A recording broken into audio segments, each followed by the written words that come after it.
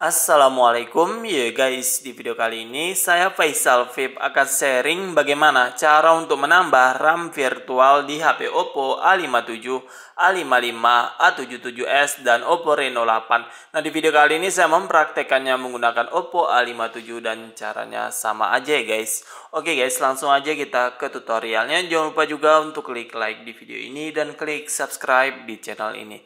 Nah guys pertama silahkan kita masuk ke menu pengaturan pada HP kita. Nah, setelah kita masuk ke menu pengaturan, selanjutnya kita cari menu tentang perangkat.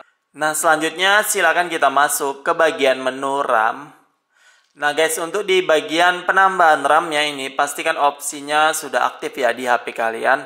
Nah, di sini ada tambah sebanyak Nah saat sekarang ini RAM virtual di HP saya 1 GB. Nah untuk kapasitas maksimal RAM virtualnya tergantung spesifikasi atau tipe HP-nya ya guys. Nah untuk Oppo A57 dia bisa sampai dengan 4 GB. Nah di sini saya akan maksimalkan aja. Nah di sini ada keterangan guys, pengaturan akan diterapkan setelah Anda menghidupkan ulang ponsel. Nah jadi di sini saya akan coba restart HP saya. Di sini saya akan coba hidupkan ulang.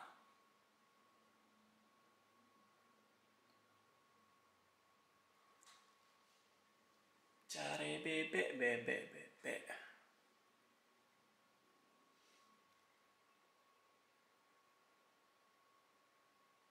Oke guys, sekarang proses restart di HP saya sudah selesai. Selanjutnya kita masuk ke pengaturan lagi.